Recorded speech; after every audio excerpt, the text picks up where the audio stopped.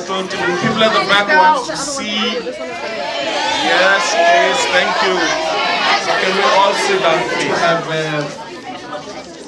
Uh, um, uh, Minister uh, Jeff Radebe making some a few remarks, and then from there we'll ask uh, Larry to introduce our guest of honor.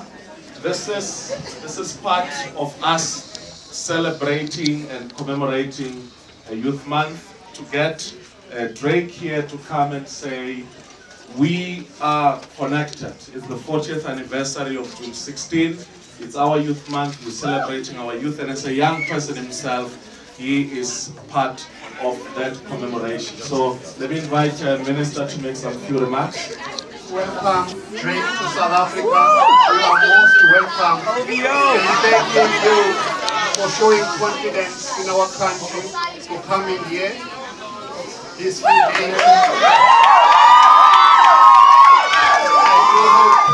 This is the beginning of a long-term relationship between yourself and the people of South Africa, especially the youth of this country who admire your music, who admire the achievements that you have done thus far. My daughter told me that you are the number one hip-hop artist in the world today.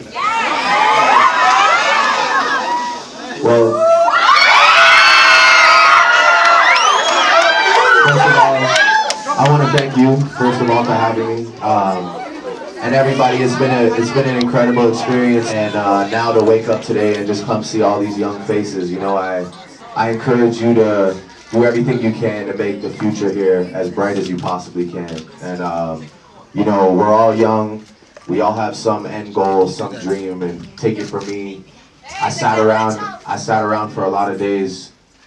Uh, you know, just thinking about my family, my loved ones, where I'm from, you know, and trying to make the place that I'm from proud of me. And, you know, if I can do it, anyone in this room can do it. So I encourage you. I encourage you to, to do it for yourself, for your loved ones, your friends, and your family, but especially for the place that you come from, because this is definitely one of the most beautiful places in the world, and I thank you.